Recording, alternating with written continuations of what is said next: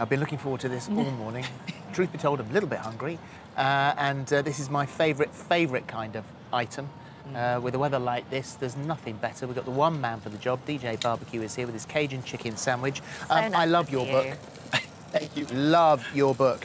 Um, and this is really, it's just the thrill of cooking outside and overheat. Yeah, I mean, it's, it's, it's good to get outside. It's good to, and also barbecues all year long. You know, a lot of people, y- you know, you always call me, it seems, when it's the hottest day of the year. Yeah. But I want to stand around hot coals on the colder days of the year. Yeah. year. I just think we should always be cooking barbecue. Let's get outdoors. Let's get family and friends and have a good time. I'll fire mine up if it's if I'm going to cook something that would normally stink out the kitchen. So if you sort Fish. of fish, Take it yeah, I outside. always do it outside. It's a very So good idea.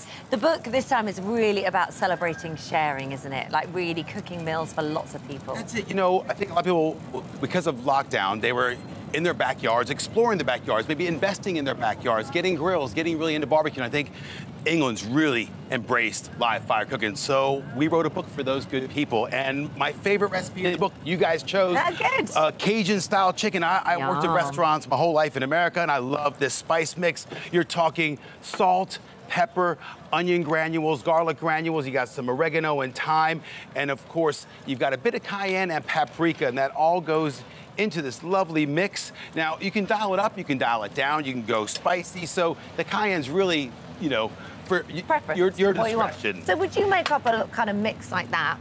Make it up, and then you've got it, and you can chuck it on everything. You're always thinking batch cooking. So Yeah. always make like a big tub of it and you use it on everything. My kids, we have Cajun rubs everywhere because it's just got it's got umami, it's got savory, it's got it all. And it's gonna go on our chicken breast. You can use uh, chicken thigh, just make sure they're deboned. Uh, butterfly, it, so it's a quick cook. You're talking on maybe like three, four, five minutes aside, but it's always important to cook barbecue to temp, not to time, because everybody's cooker is different, everybody's protein is different. And listen, the beauty of this recipe. You can go vegan and do butternut squash ribs. It's one of the recipes I've been taking to Pub in the Park. I'm at Taste Today doing demos. So that on a butternut squash, just score it, you know, clean all the seeds out and put that on there. So you can go vegan with this rub. Yeah. So we're gonna bash out our chicken, bad chicken, bad chicken. You knew you're a good chicken. And then, come on, let's get them off. Come on, chicken, be good. And then just take our rub and make it rain Cajun. Bring the Cajun rain of awesomeness. So no oil. No oil.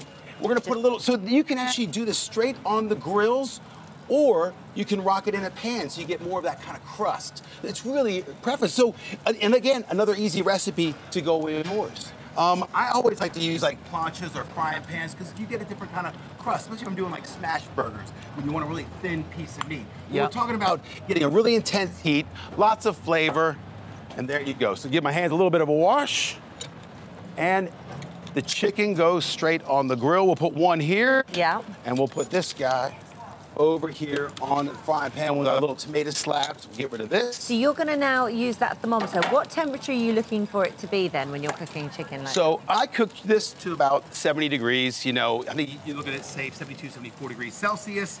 Um, and I pull it off a little bit before it's done because whilst it's resting, it's still going up in temperature. I don't want my chicken to dry out. Same with Wow. turkey or like a whole chicken. I'll, Yeah. I'll take a whole chicken off about five degrees before it's done. A turkey, maybe seven to 10 degrees before it's done. That's And it's gonna go up. turkey's dry Yeah. Christmas. Also, maybe turn that turkey So over what- and cook it breast side down. What you've also done, which is really quite important, you've, you've got you've got your coals over to one side so that you can actually rest over here. That's where it's it. Cooler. Well, you know, when you're indoors, you have dials. You know, you can, you've got different areas of temperature, but you don't really have that when you're outdoors unless you go indirect. So this is called the half and half technique. It's how I do most of my cooks. Charcoal on one side, no charcoal on the other. So if you're doing like a bigger cut of meat or you're doing the Hasselback potatoes, I put them on the indirect side. And then do the, the, the hot food over here. And this is how you do the Hasselback. I 'Cause tried everybody's this and I messed it up. So you said you've got a good way of doing it. I'm gonna give you uh, three ways. Yeah. Here's the first. You get a wooden spoon, and that way the, the, the, the knife kind of stops before you go all the way through. Because believe me, I've messed Oh, I up many see. a time. Yeah. And then you can get your little paper thin, you know, little slices, just like that. Or you can do this. You can cut uh, that down, put it flat, Uh huh. and then you can get like two spoons the same, like little, little skewers, and they'll stop it. So there's So you're always just little. keeping the bottom intact. correct. Right, Otherwise, good. all That's good to up. know.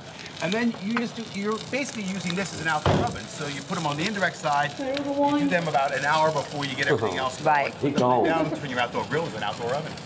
And there's our there's our crispy Hasselback potatoes, a little bit of salt and olive oil, and then we're gonna do our slaw. So, what we have, we've got apples, we've got red cabbage, carrot, white cabbage, and we're gonna add some fresh coriander, make it rain coriander, which is like my favorite rain after salt, pepper, and parmesan. Yeah. And Cajun, that's a really good rain. We've got we've got a, an issue with your mic, so I'm going to stand next to you so you can use mine. Oh, am I talking into your microphone talk to now? me. There we go. I'll talk to you. Okay, can you hand me a There you go. spoon, sir? Yes.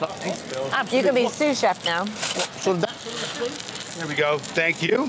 I'll try to project into your microphone. You talk a bit softly and I'll talk a bit loudly. I'm not going to say anything. There we go. Uh, if you don't want to go mayo, you can just maybe use some apple cider vinegar uh, to give it a bit of a tangy, you know, crunchy awesomeness. I like mayo. I put mayo like in everything. It's one of my favorite ingredients. Only a little bit for a massive salad as It's well. just a little bit. You know, you can just go as wet as you want, and that's your slaw. And then we've got. Can you?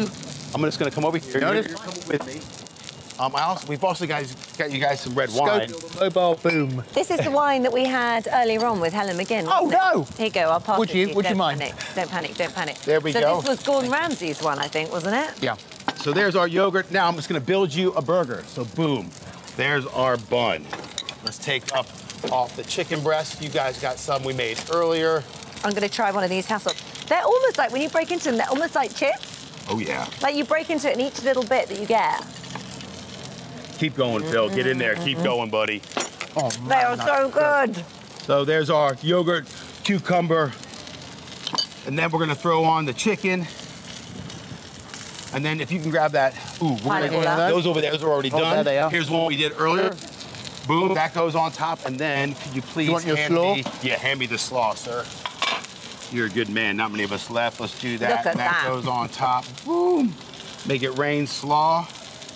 And there you, oops, I I went, can ups- I went upside down. that the Cajun chicken burger Beautiful. It's absolutely stunning. It's delicious. Thank, Thank you. you. Thank you very much. Thanks, guys. For details of today's recipe and more delicious ideas from our chefs, download our free This Morning app.